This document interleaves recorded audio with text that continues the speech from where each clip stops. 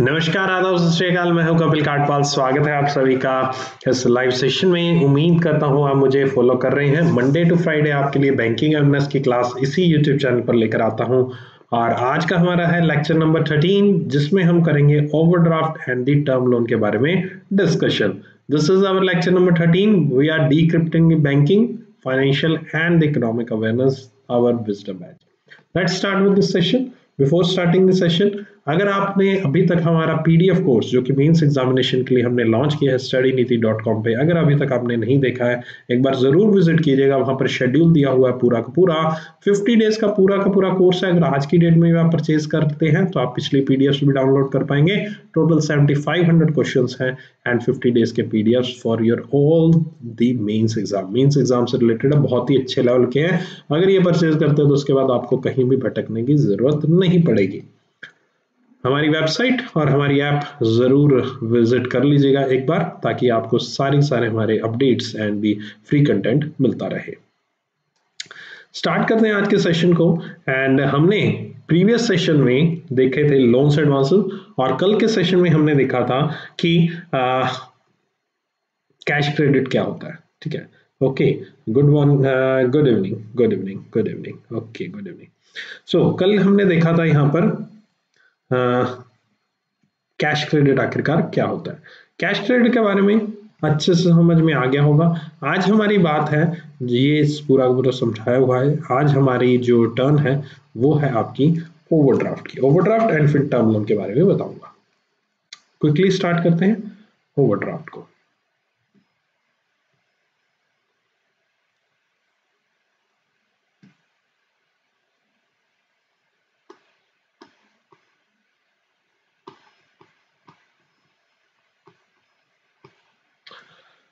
सो so, uh, कल की class में हमने जो टर्म पढ़ी थी दैट वाज दी सीसी अब मैं शॉर्ट में यूज़ करूँगा उसको। मैं ज़्यादा बड़ा बार बार कैश क्रेडिट नहीं बोलूँगा। मैं हमेशा सीसी यूज़ करूँगा वर्ड को आपका।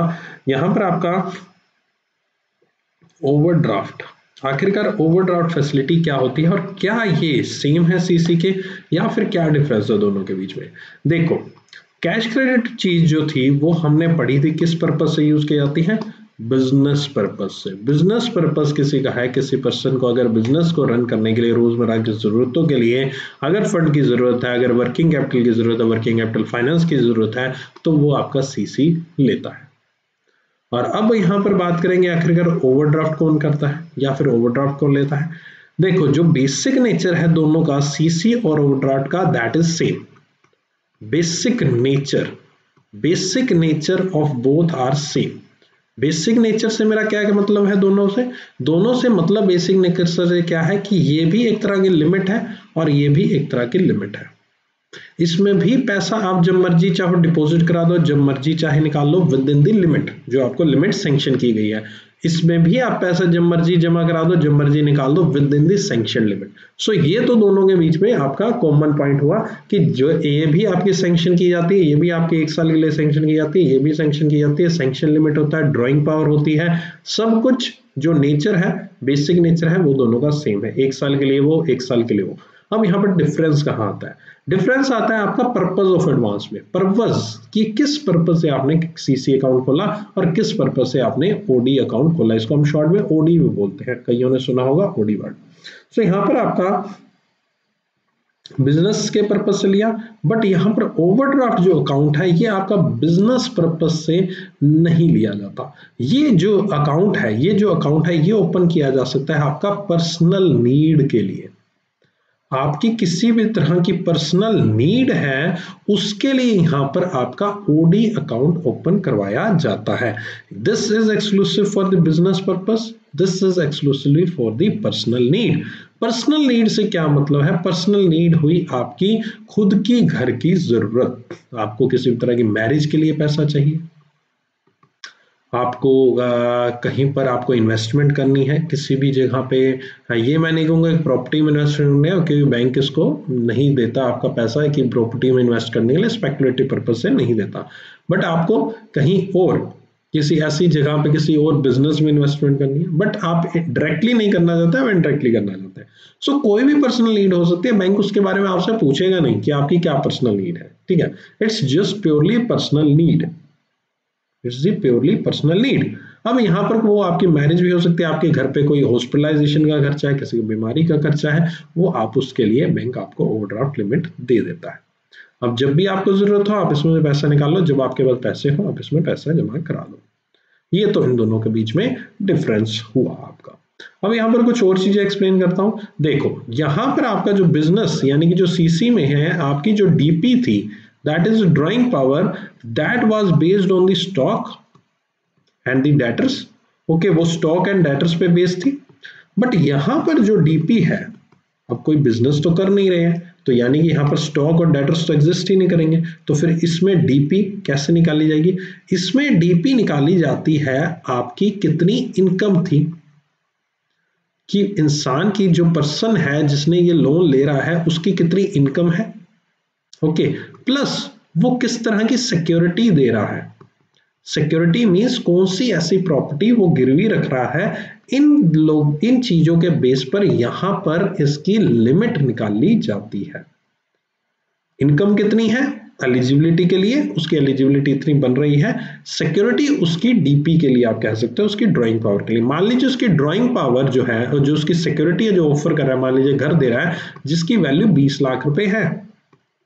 और बैंक की गाइडलाइंस के अकॉर्डिंग जितने की सिक्योरिटी देता है, उतने का हम ओवरड्राफ्ट लिमिट उसको बनाकर दे सकते हैं। एक मैं जस्ट एक एग्जांपल ले रहा हूँ। It's not the specific guideline क्योंकि बैंक टू बैंक वेरी करती है गाइडलाइंस हर एक बैंक की अपनी अपनी गाइडलाइंस और बैंक के अंदर भी, हर एक बैंक के अंदर अंदर अलग अलग तरीके ओवरड्राफ्ट की स्कीम्स भी होंगी। तो सभी तरीके की अलग अलग गाइडलाइंस एक एग्ज़ाम्पल दे रहा हूँ। सो बीस लाख का अगर सिक्योरिटी है तो उसको 20 लाख रुपए की हम लिमिट बना के दे देते हैं। तो 20 लाख की लिमिट तो वो आप यूटिलाइज करें। वो आप जैसे भी यूटिलाइज करना चाहें, उसको यूटिलाइज करें और बैंक को आपका यहाँ पर जब उसको पैसा वापस मिल गया तो पैसा वापस भर सकता है। जब मर्ज़ी चाहे उठा ले, जब मर्ज़ी चाहे उसको भर दे। सेम कंसेप्ट जो कल की क्लास में हमने कैश क्रेडिट का समझा था। और सेम वही चीज़, इसमें भी आपका पर मंथ इंटरेस्ट आपका अकाउंट में चार्ज होता है। एक महीने बाद इंटरेस्ट चार्ज होता है और आपको पे करना होता है बैंक को। हर एक महीने आपका जो भी इंटरेस्ट लगा डेली बेसिस वाला, और सेम वही कंसेप्ट ओवरड्राफ्ट पे है। डेली बेसिस पे आपका इंटरेस्ट लगता है और एक महीने बाद बैंक आपसे चार्ज करता है बैंक आपसे डिमांड करता है इंटरेस्ट को और आपको बैंक में वो इंटरेस्ट देना पड़ेगा। जितना भी पैसा आपने उठाया उसके अकॉर्डिंग इंटरेस्ट लगता रहेगा। ओके okay, सो so ये ओवरड्राफ्ट अकाउंट हुआ। अब यहाँ पर एक जो मिसकंसेप्शन लोगों के बीच में है वो ये है यहाँ पर कि ओवरड्राफ्ट जो है ओवरड्राफ्ट जो है वो आपका करंट अकाउंट में दिया जाता है जो कि एक बहुत बड़ा एक मिसकंसेप्शन कह लीजिए, जो कि पता नहीं कहाँ से ओरिजिन हुआ है। आई हैव नो आइडिया कि कहाँ से ओरिजिन हुआ है, किसने ये बताया। But I am listening to this thing मैं जब से बैंकिंग अवेयरनेस जब से मैं क्लासेस ले रहा हूँ, तब से हर एक क्लास में कोई ना कोई एक स्टूडेंट दो तीन स्टूडेंट्स ऐसे मिल जाते हैं, जो मुझे यही बोलते हैं कि, सर करंट ओवरड्राफ्ट किसको कहते हैं? अगर करंट अकाउंट में बैलेंस अगर ऊपर चला जाए, जितना आपके अकाउंट में बैलेंस नहीं है तो उसको हम ओवरड्राफ्ट कहते। हैं यहाँ पर भी इस क्लास में भी ऐसे कई स्टूडेंट हो गए जिन्होंने ये अब तक सुना होगा और ये अब तक पढ़ा होगा। आई नो आइडिया कहाँ से भी बड़ा है, आपने जहाँ से भी बड़ा है, ये बिल्कुल गलत कंसेप्ट है। ऐसा कोई भी कंसेप्ट हमारी बैंकिंग सेक्टर में नहीं होता है। Current account is a totally a different concept current account totally different concept है। करंट अकाउंट का कोई भी चीज़ ओवरड्राफ्ट से लेना देना ही नहीं है। बिकॉज़ करंट अकाउंट जो आपका ओपन होता है, उसका अकाउंट नंबर जो जनरेट होता है, आपके बैंक में आप जब जाते हो तो हर एक चीज़ का एक अकाउंट नंबर होता है। लाइक आपका सेविंग अकाउंट का अलग अकाउंट नंबर होता है, आपके मम्मी का अलग अकाउंट है, आपके पापा का अलग अकाउंट है, आपका अलग अकाउंट है। वैसे ही करंट अकाउंट का नंबर अलग होता है, और ओवरड्राफ्ट का जो अकाउंट नंबर होता है, वो अलग होता है। उसमें कोई सिमिलैरिटी नहीं होती कि आपका करंट अकाउंट का नंबर भी वही है ओवरड्राफ्ट का नंबर भी वही नहीं, ऐसा नहीं होता। ओवरड्राफ्ट आपका अलग से सेपरेट अकाउंट खोला जाता है, उसकी एलिजिबिलिटी निकाली जाती है, उसकी डीपी निकाली जाती है, और डीपी और एलिजिबिलिटी कैसे निकाली मैंने आपको बताया। और किस पर्पज से दिया जाता है? उस पर्पज से दिया जाता है। सो यहाँ पर अब उम्मीद करता हूँ आपको ये समझ में आ गई होगी ये चीज़ कि कैश क्रेडिट और ओवरड्राफ्ट के बीच में क्या डिफरेंस है और क्या सिमिलरिटीज है और आखिरकार ये कैसे काम करता है। आपकी पर्सनल ज़रूरत है, आपको दे दिया जाता है, आपकी प्रॉपर्टी गिरवी रख ली जाती है और उसके बदले में आपको एक ओवरड्राफ्ट लिमिट बना के दे दी जाती है। और आप उस ओवरड्राफ्ट लिमिट को यूटिलाइज कर सकते हैं। ठीक है? हाँ अब उसको बिज़नेस पर्पज से यूज़ करना, वो आपके ऊपर है बट बैंक नहीं पूछेगा। बैंक कैश क्रेडिट में जो डीपी निकालता है, वो स्टॉक एंड डेटर्स के बेस पर ही निकालेगा बट इसमें ओवरड्राफ्ट में जो आपकी डीपी निकालेगा, वो स्टॉक डेटर्स के बेस पर नहीं निकालेगा चाहे आप उसको बिज़नेस पर्पज से यूज़ करो। अब हो सकता है ओवरड्राफ्ट लिमिट ले ली बट बाद में मुझे लगा, यार लिमिट तो ले ली बट मुझे इसके बिज़नेस में लगाना तो बैंक मना नहीं कर रहा कुछ भी। उसको यूज़ करो बट जो हम डीपी निकाल लेंगे ड्राइंग पावर निकाल लेंगे, वो ऐसा नहीं है कल को आ जाए कि सर, मेरा स्टॉक डाटा इतना, मेरी डीपी निकाल दो और मेरी सिक्योरिटी जो है वो दे दो वापस। नहीं, ऐसा नहीं होगा। वो ओवरड्राफ्ट अकाउंट में आपकी डीपी के लिए एलिजिबल नहीं है स्टॉक एंड डेटर्स वो आपके एलिजिबिलिटी जो रहेगी, वो आपकी सिक्योरिटी ही रहेगी। उम्मीद करता हूँ समझ में आ गया होगा आपको ये चीज़। एंड पूरा का पूरा एक एक concept OD and the CC के बीच में डिफरेंस और जो मोस्ट इंपॉर्टेंट था ओडी एंड करंट अकाउंट के बीच में डिफरेंस क्योंकि करंट अकाउंट ऐसा अकाउंट होता है जिसमें आप पैसा जमा कराते हो और ओवरड्राफ्ट ऐसा अकाउंट होता है जिससे पैसे आप बैंक से उधार के फॉर्म में लेते हो। ये दोनों के दोनों आपके एक छोर और दूसरा छोर है। दोनों के दोनों आपके डिफरेंट कंसेप्ट है। Overdraft is totally different from the current account there is no such matching या सिमिलैरिटी कह लीजिए between both of them. That was about the overdraft account. Next जो कंसेप्ट चलते हैं, जो कि कहलाता है आपका टर्म लोन जब मैंने आपको बेसिक ऑफ़ लोन्स एडवांसेस के बारे में चैप्टर कराया था दो दिन पहले, उसमें मैंने आपको बताया था टर्म लोन उसके में आपको, मैंने एग्जांपल लिया था कि आपके, अगर मैं कोई भी पर्सन आपसे पूछा कि आपको लोन के बारे में क्या जानकारी तो आप उसके सामने क्या एग्जांपल रखोगे? Vehicle loan housing loan education loan यही आप कुछ एग्जांपल रखते हो। क्योंकि ये आपके रोज़मर्रा की जरूरतों में आपके यूज़ किए जाते हैं। लोन इस तरह के आपने घर में लिया होता है और आपको इसके बारे में हल्की फुल्की नॉलेज होती है। आपको सीसी अकाउंट आपको डी अकाउंट के बारे में नहीं पता होता क्योंकि ये बहुत रेयर केसेस होते हैं बिकॉज़ वो बिज़नेस पर्पज से यूज़ होता है। हाँ बिज़नेस पर्पज की ट्रांजेक्शन वगैरह अगर घर पे डिस्कस की जाती है, तब शायद आपको उसकी नॉलेज हो। बट जो मोस्टली हम देखने को मिलते हैं हमारे घरों में व्हीकल लोन एजुकेशन लोन या फिर हाउसिंग लोन आपने लिया हो। तो ये जो लोन है vehicle loan housing loan education loan इस तरह के लोन जब होते हैं, इस तरह के लोन्स को हम जिस कैटेगरी में डालते हैं, वो कैटेगरी है आपकी term loan so this is the term loan जिस कैटेगरी में हम vehicle loan education loan housing loan etcetera and etcetera type के लोन्स को अंडर उसके रखते हैं। अब आखिरकार टर्म लोन का मतलब क्या हुआ? टर्म लोन एक ऐसा लोन है जो आपको कुछ समय, अवधि के लिए दिया जाता है, लंबे समय के लिए दिया जाता है, कह सकते हैं। लॉन्ग टर्म पर्पज से दिया जाता है। एक तो ये नेचर हुआ। दूसरा नेचर इसका ये है कि ये आपको कोई ना कोई चीज़ परचेज करने के लिए दिया जाता है। या फिर आप कह लीजिए बिल्डिंग अप दी असेट किसी भी तरह की आपकी असेट को क्रिएट करने के लिए दिया जाता है। क्रिएशन के लिए दिया जाता है। किसी भी तरह की आपने क्रिएशन करनी है, किसी भी तरह के असेट की आपकी एक संपत्ति है, आपकी ओनरशिप रहे, उस चीज़ को यहाँ पर क्रिएट करने के लिए आप बैंक से जो उधार लेते हो, उस चीज़ को हम टर्म लोन कहते हैं। परचेज बिल्डिंग एक एग्जांपल लेता हूँ सबसे पहले व्हीकल लोन का। व्हीकल लोन में क्या किया जाता है? व्हीकल लोन में आप क्या करते हो? व्हीकल लोन में आप मान लीजिए आपने पाँच लाख रुपए की कार खरीदी है। आप बैंक में जाएँगे बैंक क्या कहेगा? बैंक आपको पाँच लाख रुपए के बदले में लोन दे देगा। बैंक अपना कुछ मार्जिन रखता है। बैंक मान लीजिए बैंक कहता है, दस परसेंट आपको अपनी जेब से लगाना है और बाकी हम साढ़े चार लाख रुपए हम आपको लोन के फॉर्म में दे देंगे। अब ये दस परसेंट क्यों बैंक कहता है कि हमेशा हमेशा हर एक लोन में मार्जिन होगा ही होगा, ठीक है? अब दस परसेंट बैंक क्यों कहता है कि रखो? बैंक इसलिए कहता है कि बैंक जानना चाहते हैं कि एटलीस्ट आपको दस परसेंट होना तो चाहिए पैसा उसको देने के लिए। ऐसा तो नहीं है कि बिल्कुल ही नहीं हो। होना तो चाहिए। बिकॉज़ आप इतनी लग्जीरियस आइटम खरीद रहे हो व्हीकल लोन टाइप कुछ खरीद रहे हो तो ऑब्वियस आपके पास इतना तो पैसा होगा कि आप जेब से भर सको। कुछ तो वैल्यू होगी, आपके पास कुछ तो इकट्ठा किया होगा। तो बंदे के तो पचास हज़ार रुपए ले लेते हैं। साढ़े चार लाख रुपए का लोन जो है, वो बैंक करता है, और फिर वो पर्सन अपने पाँच लाख रुपए, क्योंकि पचास हज़ार इसने देने हैं, साढ़े चार लाख रुपए बैंक देगा तो पाँच लाख रुपए से वो अपनी एक कार खरीद लेता है। सो so, यहाँ पर आप देख सकते हैं बैंक से जो साढ़े चार लाख रुपए इससे क्या हुआ? इससे एक असेट क्रिएट हुई इससे हमने कुछ परचेज किया। Creation of the set is there car हमारी पास आई कार हमने चलाई कार को हम यूज़ कर रहे हैं ठीक है एवरीथिंग इज़ देयर बट इस पर एक प्रकार से जो ओनरशिप रहेगी वो बैंक की भी रहेगी क्योंकि बैंक ने लोन दिया था। ओनरशिप के बारे में गिरवी कैसे रखी जाती हैं चीज़ें आपके हाइपोथिकेशन क्या होता है मोटगेज क्या होता है ये सब टर्म्स आपको आने वाले एक दो आई थिंक दो तीन क्लासेस बाद ही मैं इसको समझा दूँगा आपको चीज़ें सारी की सारी ठीक है? सो so, यहाँ पर नेक्स्ट एक चीज़ तो है purchasing building creation of this next चीज़ है long term purpose long term purpose क्यों है? क्योंकि आप लॉन्ग टर्म पर्पज कार आप जब खरीदते हो जब आप लोन लिया तो कार का आपने जो लोन लिया है उसका टेन्योर देखो। नॉर्मली जो कार खरीदने का जो टेन्योर होता है, जो कार का लोन का टेन्योर होता है, वो पाँच से सात साल होता है। आपको जो लोन दिया जाता है, वो पाँच से सात साल के लिए दिया जाता है। ठीक है? अगर आप स्टाफ हो तो ज़्यादा सालों के लिए भी दिया जाता है बट मैं जनरल पब्लिक आप कस्टमर की बात कर रहा हूँ। तो पाँच से सात साल के लिए आपका वो लोन आपको चुकाना होता है।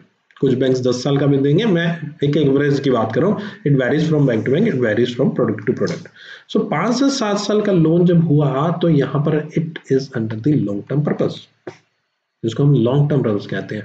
कि कार लंबी अवधि के लिए चलेगी ना। कार की जो टेन्योर है, कार की जो जीवन है, कार की जो लाइफ है, कार की जो ज़िंदगी है, वो लंबी है। ठीक है? तो ये पाँच से सात साल के लिए दिया जाता है। अब ये चीज़ तो होगी टर्म लोन अब टर्म लोन में आपका नेक्स्ट कंसेप्ट क्या आता है? नेक्स्ट कंसेप्ट आता है आपका रिलेटेड टू द इंटरेस्ट जो ओडी या सीसी अकाउंट थे, उसमें जो इंटरेस्ट लगता था, वो क्या लगता था? मंथली मंथली लगता था, क्या लगता था? केवल और केवल इंटरेस्ट लगता था। बट यहाँ पर टर्म लोन में क्या लगता है? आपको क्या चुकाना होता है? Per month E M I that is equated monthly installment equated monthly installment. यही चुकाते हो ना आप? ठीक है ना? टर्म लोन में आप क्या चुकाते हो? ईएमआई इक्वेटेड मंथली इंस्टॉलमेंट चुकाते हो। तो यहाँ पर ईएमआई e में क्या होता है? ईएमआई e में आपका होता है प्रिंसिपल प्लस इंटरेस्ट यानी कि हर एक महीने जो आपने कार ली, साढ़े चार लाख का लोन लिया, इसको बैंक ने कुछ इस तरह से टुकड़ों में बांट दिया कि ये 84 मंथ्स यानी कि सात सालों में आपका चुक जाए। 84 मंथ्स में यहाँ पर कंप्लीट हो जाए, जिसमें आपका प्रिंसिपल भी आए, यानी साढ़े चार लाख रुपए भी आ जाए, और प्लस इंटरेस्ट जो हमने बैंक ने लेना वो भी आ जाए। तो आप बैंक इस तरह से कैलकुलेशन करेगा? चार लाख पचास हज़ार प्लस इंटरेस्ट लगा के, फिर उसको चौरासी महीनों में बांट देगा, सात सालों में बांट देगा, और उसकी ई e बन जाएगी, जो उसको पर मंथ देनी है। बट यहाँ पर जो सी सीसीओडी अकाउंट है, उसमें मंथली इंटरेस्ट ही देना है। अब आप कहोगे, सर बैंक से जो उठाया था मान लीजिए दस लाख रुपए तो फिर वो कब चुकाना है? वो बैंक जब डिमांड करेगा या आपके पास जब दस लाख रुपए इकट्ठे हो जाए, आपको नहीं ज़रूरत जब ओवरड्राफ्ट सीसी लिमिट की, तब आप उसमें दस लाख रुपए एक साथ भर सकते हो एनी टाइम एनी टाइम आप भर सकते हो और बैंक आपका वो अकाउंट क्लोज कर देगा। क्योंकि जिस दिन दस लाख रुपए आप पूरे भर दोगे, उस दिन बैंक आपका अकाउंट क्लोज कर देगा, क्योंकि बैंक को पता चलेगा कि आपको ज़रूरत ही नहीं लिमिट की तो बैंक आपको ज़ीरो कर देगा आपकी लिमिट को। बट इस केस में क्या होता है? इस केस में फिक्स टेन्योर होता है। टर्म लोन के केस में always there is a fix tenure another nature that is always a fix tenure but CCOD case में किसी भी तरह फिक्स टेन्योर नहीं था। ये तो एक साल बाद रिन्यूअल होता था। एवरी ईयर रिन्यूअल और वो चलता रहेगा चलता रहेगा चलता रहेगा चलता रहेगा। Getting my but there is a fix tenure ये सात साल, दस साल बाद, पंद्रह साल बाद, ये खत्म होना ही होना है ज़ीरो होना ही होना है। आपका अकाउंट क्लोज होगा ही होगा। चाहे व्हीकल लोन है, चाहे हाउसिंग लोन आपने लिया, चाहे एजुकेशन लोन लिया अब हाउसिंग लोन के केस में भी क्या होता है? हाउसिंग लोन के केस में भी तो सेम होता है। हाउसिंग लोन में आप हाउस खरीदते हो। हाउस कंस्ट्रक्ट करते हो there is always a creation of a set अब आप कहोगे कि एजुकेशन लोन में सर कौन से क्रिएट कर रहे हैं सर? एजुकेशन लोन में आपकी सेट ही तो है, आपका दिमाग, आपकी स्टडी बैंक आपकी स्टडी के लिए पैसा दे रहा है तो वो स्टडी को आप यूटिलाइज करोगे स्टडी से अपना दिमाग बिल्ड करोगे और उसी दिमाग से आप आगे नौकरी लगोगे जॉब लगोगे और वही स्किल्स जो है जॉब के लिए काम आएँगे और उसी से इनकम करोगे, उसी से बैंक की आप ईएमआई चुकाओगे। So this is also for fixed tenure. This is also a, a long-term purpose, a creation of asset.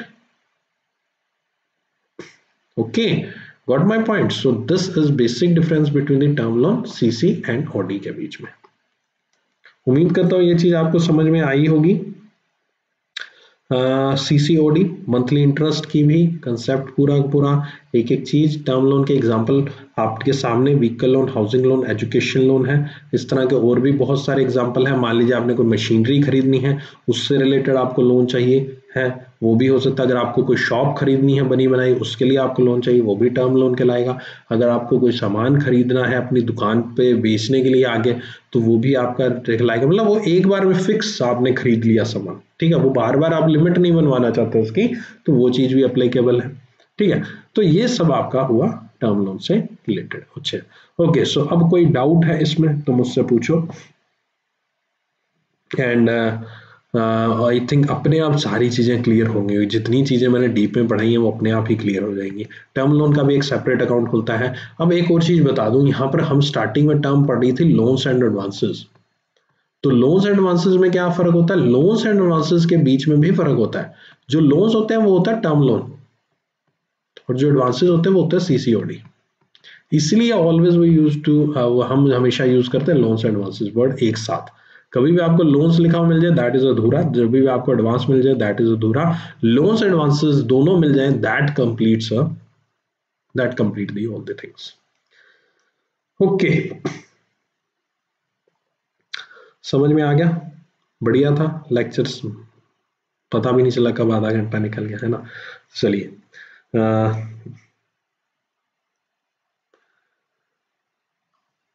Clear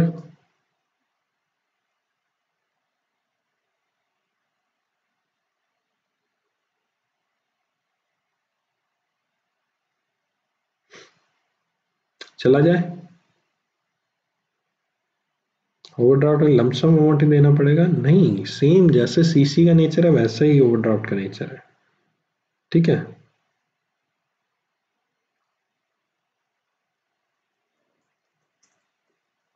So there is no limit in term loan हाँ एक बार टर्म लोन आप एक बार ही लेते हो। एक और चीज़ सुन के जाना अच्छी।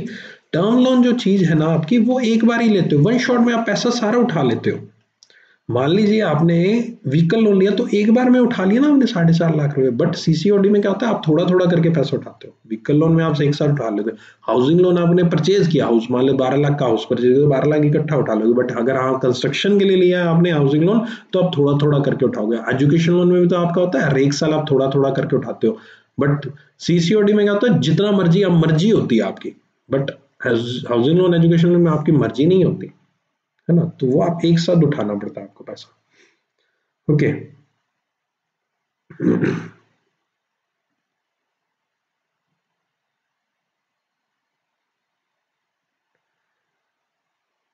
क्रेडिट कार्ड अभी कंसेप्ट बताऊँगा। अभी क्रेडिट कार्ड पे मैं आया नहीं हूँ। जब बताऊँगा तब समझ में आ जाएगा आपको अपने आप।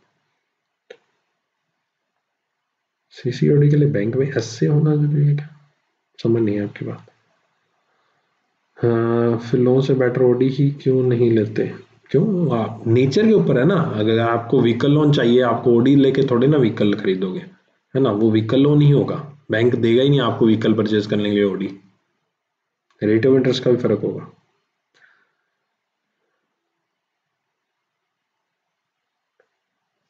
लमसम यहाँ, जितना इंटरेस्ट है उतना तो आपको पे करना ही है। उसके बाद जितना आपको पैसा आता रहे, उतना आप कर सकते हो।